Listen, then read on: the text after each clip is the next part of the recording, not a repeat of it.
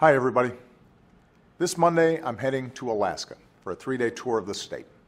I've been looking forward to this for a long time, not only because Alaska is one of the most beautiful places in a country that's full of beautiful places, but because I'll have several opportunities to meet with everyday Alaskans about what's going on in their lives. I'll travel throughout the state, meet with Alaskans who live above the Arctic Circle, with Alaska natives, and with folks who earn their livelihoods through fishing and tourism. And I expect to learn a lot. One thing I've learned so far is that a lot of these conversations begin with climate change. And that's because Alaskans are already living with its effects. More frequent and extensive wildfires, bigger storm surges as sea ice melts faster, some of the swiftest shoreline erosion in the world, in some places more than three feet a year. Alaska's glaciers are melting faster too, threatening tourism and adding to rising seas.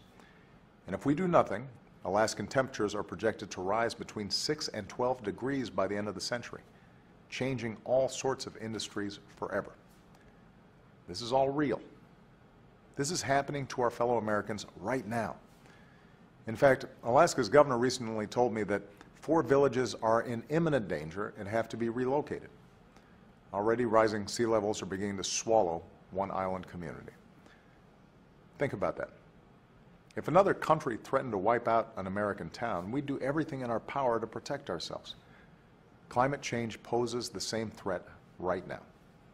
That's why one of the things I'll do while I'm in Alaska is to convene other nations to meet this threat. Several Arctic nations have already committed to action. Since the United States and China worked together to set ambitious climate targets last year, leading by example, many of the world's biggest emitters have come forward with new climate plans of their own. And that's a good sign as we approach this December's global climate negotiations in Paris.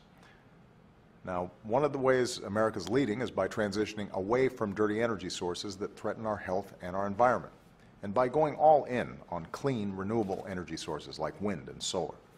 And Alaska has the natural resources to be a global leader in this effort. Now, even as we accelerate this transition, our economy still has to rely on oil and gas. And as long as that's the case, I believe we should rely more on domestic production than on foreign imports. And we should demand the highest safety standards in the industry, our own.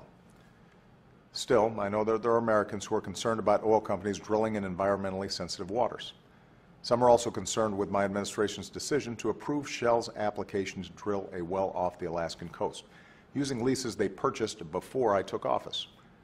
I share people's concerns about offshore drilling. I remember the BP spill in the Gulf of Mexico all too well. And that's precisely why my administration has worked to make sure that our oil exploration conducted under these leases is done at the highest safety standards possible, with requirements specifically tailored to the risks of drilling off Alaska. We don't rubber stamp permits.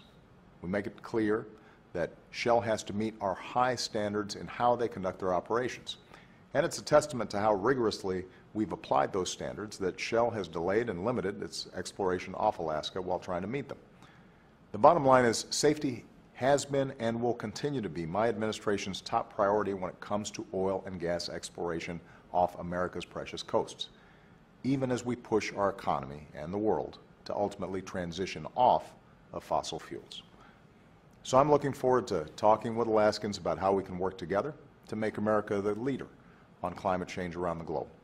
And we're going to offer unique and engaging ways for you to join me on this trip all week at whitehouse.gov slash Alaska. Because what's happening in Alaska is happening to us. It's our wake-up call.